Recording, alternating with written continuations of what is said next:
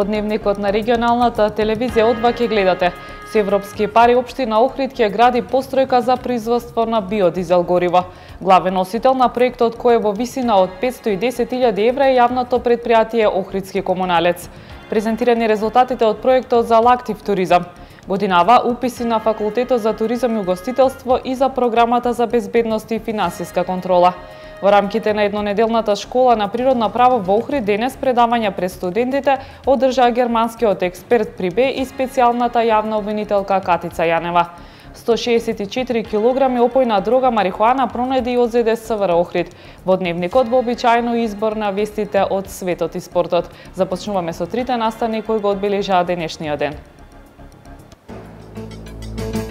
Во Охрид ќе се произведува биодизел гориво. Годинава уписи на Факултетот за туризам угостителство и за програмата за безбедност и финансиска контрола. Торнадо ги зафати северниот и источниот дел на Германија. Прв дневник на регионалната телевизија одва. Со европски пари општина Охрид ќе гради постројка за производство на биодизел горива. Главен носител на проектот кој е во висина од 510.000 евра е јавното предпријатие Охридски комуналец. Преку овој проект селектираниот отпад кој се собира ќе премине во биодизел гориво, кое пак ќе се користи исклучиво за возилата на јавните предпријатија за грејење на јавните институции.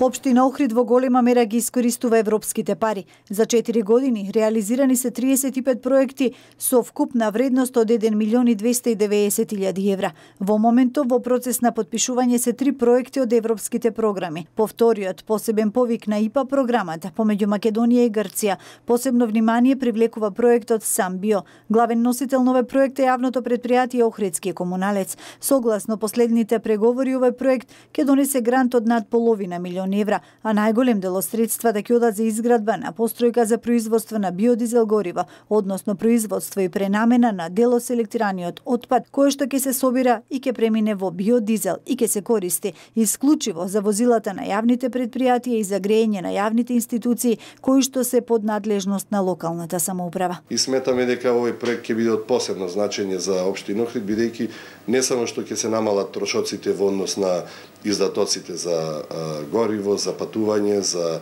возилата на јавните предпријатија на општината, на како и за грејење на сите институции кои што се под надлежност на локалната самоуправа, значи ќе имаме и веќе еден организиран процес на селекција на отпадот и негова преработка и производство на биоотпад. Апостолов потенцира дека локалната самоуправа во рок од 4 години успеала да аплицира и да донесе над 2 милион евра гранти средства од различни донатори. Поголемиот дел се од во рамки на европските програми, меѓутоа голем дел од средствата или добар дел од проектите се реализирани преку донации од страна на амбасади, меѓународни институции, министерства и така натака. И она што посебно би го истакнал е дека во овие изминативе 4 години не само што успеавме да реализираме 35 проекти, а уште три допарва треба да се реализираат, најголемата според мене придобивка е градењето на еден многу солиден тим во рамки на секторот за туризам и локален економски развој. Според раководителот на секторот за туризам и локален економски развој, Апостолов,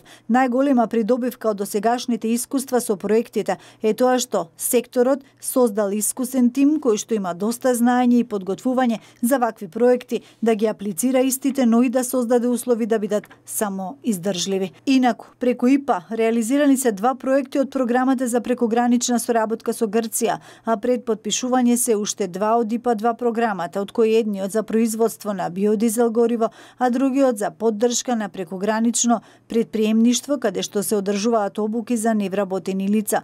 Проектот Вотернет е прв проект кој Обштина Охрид го аплицираше и доби пари од европските фондови. Евроамбасадорот Самиол Шбогар го прогласи за најуспешен во Западна Македонија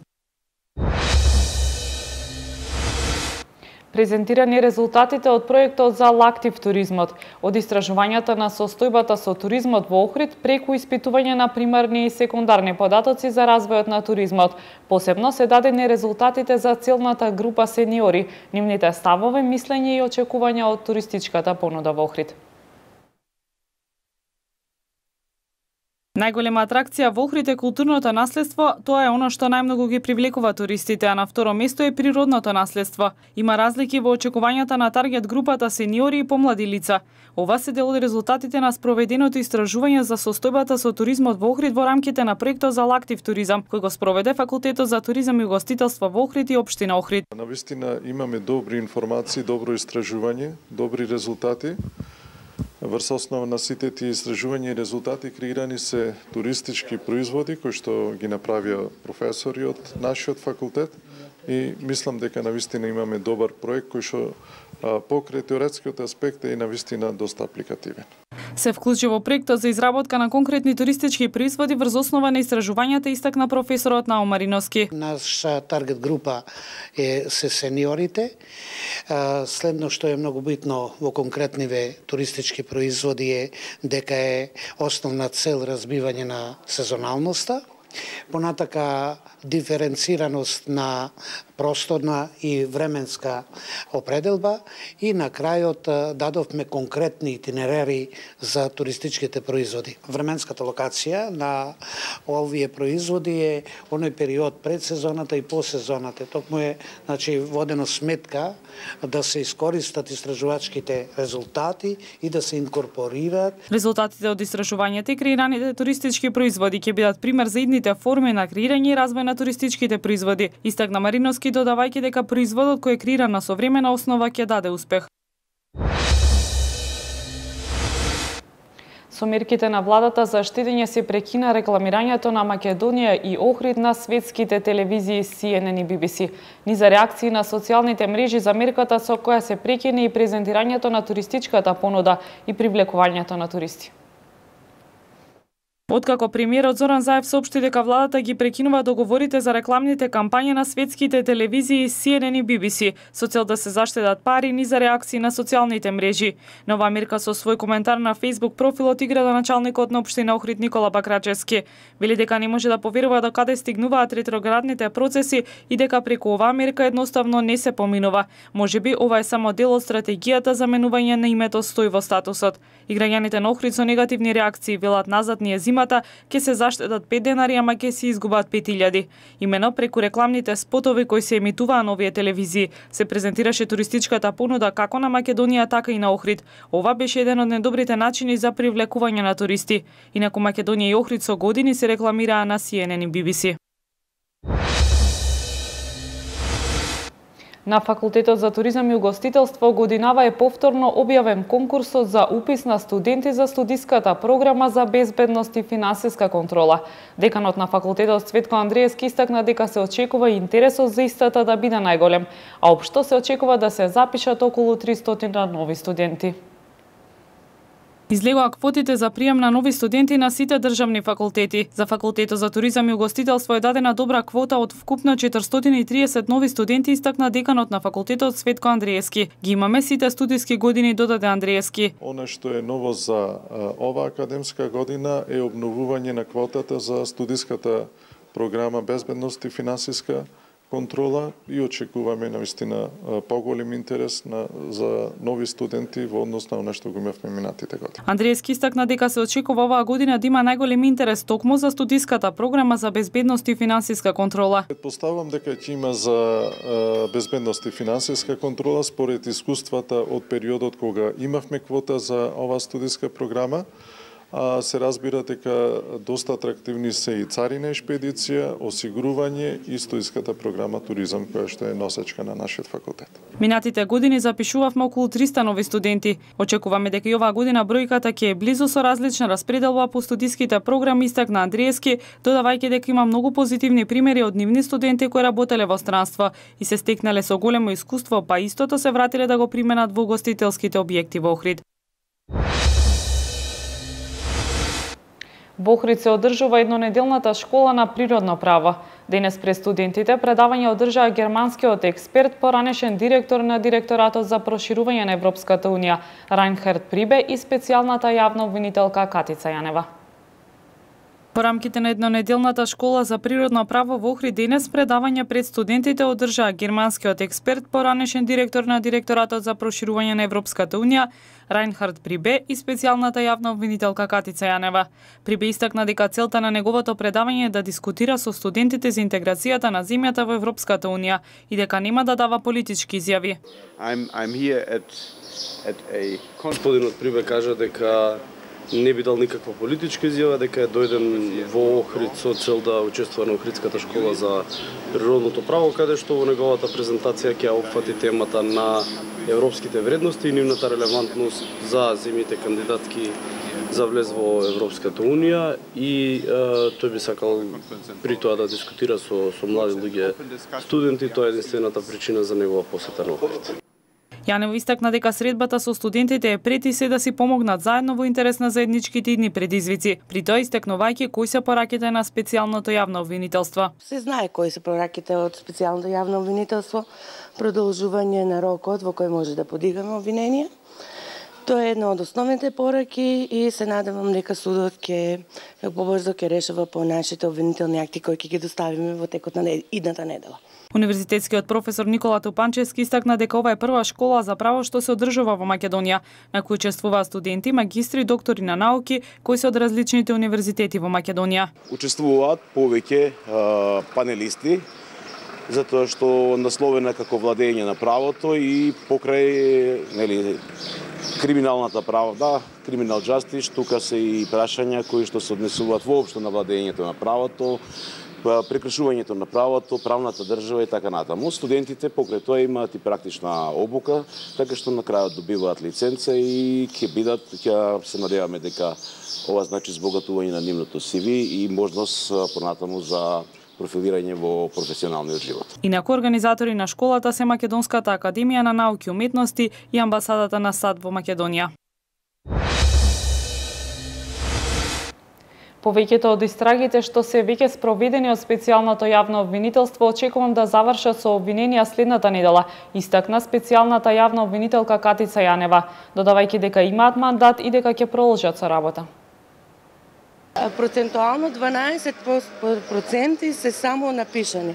45% се во обработка, вкупно, значи 45 со тие 12%, 55 се останати за необработени али тука мора да разберете дека има многу новинари, има многу на разни јазици прислушкувани разговори. Тоа е еден дел кој уште не сме го започнале, тоа ќе биде после 15 септември.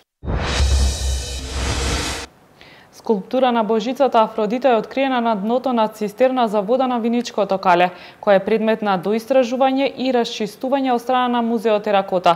Истражувањата на Виничкото кале започнаа пред месец дена по пауза од речиси 6 години. После теракотните икони, скулптура на божицата Афродита со Ерос е најновото откритие на виничките археолози по неколкудневните нови истражувања на Виничко кале. Мермерот е пронајден на длабочина од 5 метри во објектот цистерна за вода, кој е датиран од рано античкиот период, а кој е во фокусот на проектот на Музеот Теракота. Оваа година од истражувањата на објектот цистерна, посебно можеме да издвоиме еден предмет кој што го пронајдовме на подното ниво на цистерната. Се работи за мермерна скулптура.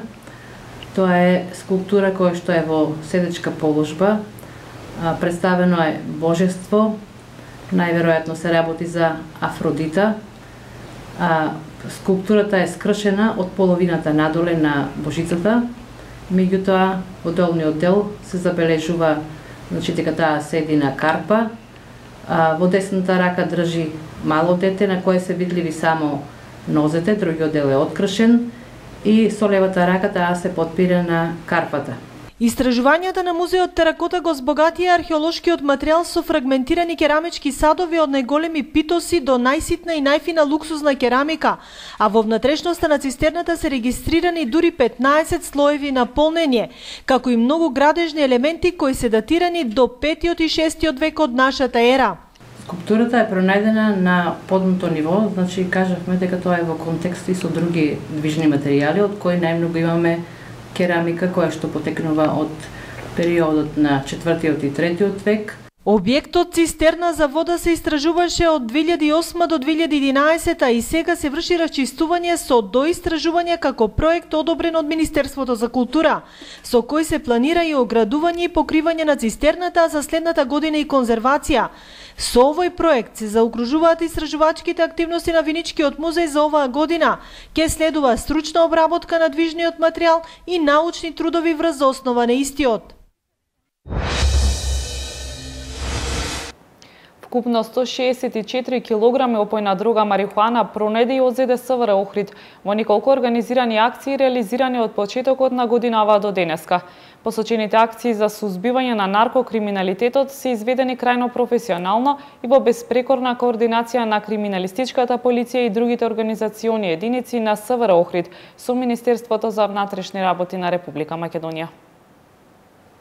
Од почетокот на годинава до денес СВР Охрид во координација со службите има изведено неколку акции за сузбивање на наркокриминалитетот и пронаѓање на лица кои нелегално вршат шверц, односно пренесуваат наркотична дрога марихуана преку водите на Охридското езеро. Од почетокот на оваа година до денеска СВР Охрид реализира пет вакви акции во кои што се пронајдени и одземени вкупно 164 килограми опојна марихуана која што е пренесувана преку пловни објекти, значи преку чамци од едната на другата страна на Охридското езеро. Во овие акции на Савар Охрид приведени се пет луѓе, еден албански државјанин и четири македонски државјани против кои што се поднесени кривични пријави поради постојање основи на сомнение за сторено казнено дело производство и пуштање во промет на наркотични дроги и психотропни субстанци. Според наводите во поднесените пријави, пријавените лица извршиле транспорт на поголема количина на опојна дрога марихуана по воден пат, односно транспорт преку водите на Охридското езеро. Нивните намери биле на тамошна препродажба на опојната дрога на подрачјето и пошироко во Република Македонија. Целта е да се пронајдат сите оние кои што вршат нелегални активности на нашето подрачје и секако да бидат изнесени пред лицето на правдата. Во ова насока можам да нагласам дека Савар Охрид и понатаму ќе продолжи со а, силни мерки во насока на сузбивање на наркокриминалитетот на нашето подрачје и секако во подигнувањето на степенот на безбедноста а, за сите граѓани. Сите технички средства се од користи за полициските службеници, но најважно за нас е добивањето на квалитетна оперативна информација. По добивањето на информации следат мерки на доутврдување на информациите и реализација на акциите додава Димовски. Поставени 15 специализирани контейнери за одлагање на отпад од стакло од страна на јавното предпријатие Охридски комуналец во соработка со Пакомак Скопје. Со ова граѓаните ќе може стаклото да го издвојуваат од другиот отпад и да го депонираат во тие контейнери. Овие контейнери се со капацитет од 1,5 метри кубни и се исклучиво за стакло, а се поставени на неколку локации. Паркингот кај Центарот за обука на вода, кај Македонија, улица Македонски просветители, на улицата Богомилска, во населбата Христо Узунов, пред музичкото училиште, на пресекот на улиците Даме Груев со туристичка, на улицата Партизанска и на уште неколку други локации. Во продолжение на дневникот следува временската прогноза.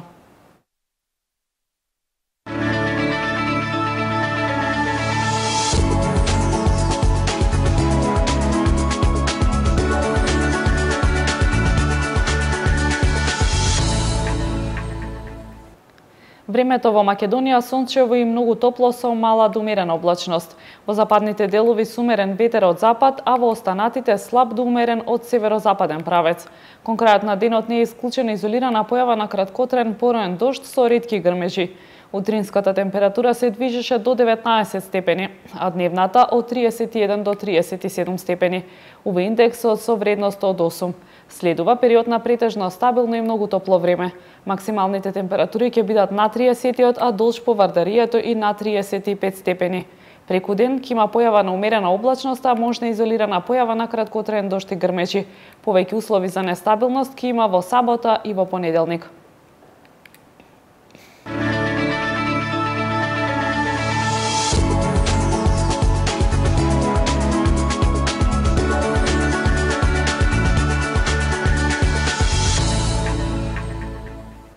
Почитувани, на регионалната телевизија Одва го следевте првото издание на Дневникот. Имајте пријатно попладне со програмата на Одва телевизија.